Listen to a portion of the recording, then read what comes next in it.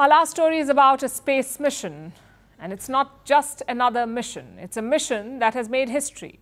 Today, a private crew took part in a spacewalk some 700 kilometers from planet Earth. They were not astronauts. They were, in fact, a billionaire, his childhood best friend, and two engineers. And this was the first private spacewalk ever. The mission was funded by fintech billionaire Jared Isaacman. It used SpaceX rockets and equipment, and it has opened a new avenue for private space travel. But can anyone just buy a ticket to space? And why are governments allowing this? Our next report tells you. Back at home, we all have a lot of work to do, but from here, Earth sure looks like a perfect world. With those words, Jared Isaacman made history. It was a risky venture, but the billionaire pulled it off. He and his private crew stepped out of their spacecraft, did a spacewalk, and returned back to safety nearly 700 kilometers away from planet Earth. This makes them the first civilians to conduct a spacewalk. The mission is called Polaris Dawn. Two days ago, Jared Isaacman took off in a SpaceX rocket.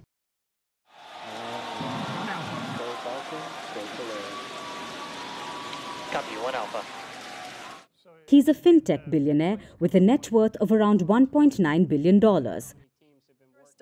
He's also bankrolling this mission. So he's on board as commander.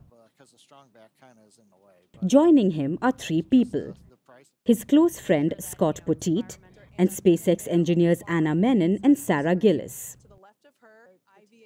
The goal was a private spacewalk above the planet. But there's a catch. No human has been this far since NASA's Apollo program in the 1970s. Also, these are amateur astronauts. They had no prior training or any such experience. So, them pulling this off is a miracle. Only two of them conducted the spacewalk. They didn't float away or use jetpacks to fly away untethered. They just spent a few minutes each out in open space. But that doesn't make this any less iconic. In fact, it's a new horizon for private space travel. Space was once the frontier of nations. Now it's becoming more and more commercial. It started in the 2000s when a group of rich individuals spent a fortnight at the International Space Station. But that era of space tourism ended by 2009. And now there's a revival once again. More and more private companies are chasing the cosmos. And one major player is Elon Musk's SpaceX. It was founded in 2002. Initially, the company was dismissed by traditionalists. But right now, it's a powerhouse. SpaceX launches more rockets than any other competitor, and most of those missions are a success.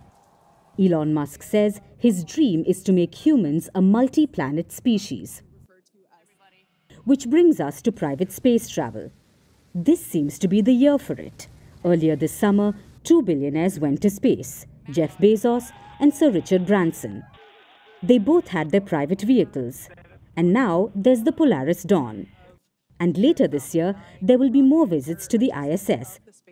So a lot of missions are coming up, and there's a reason for it. You see, space travel is exorbitantly expensive. So for governments, this solves a problem. Individuals are funding their own space travel. They are pushing the boundaries of space exploration. And nations don't have to spend a dime on it. But it still doesn't mean anyone can just buy a ticket and get on a rocket. Space travel is more accessible, yes, but don't be mistaken. It's still very much a billionaire's playground. That said, this space mission is historic. It was a short walk for Jared Isaacman in space, but for private space travel, it's a big leap.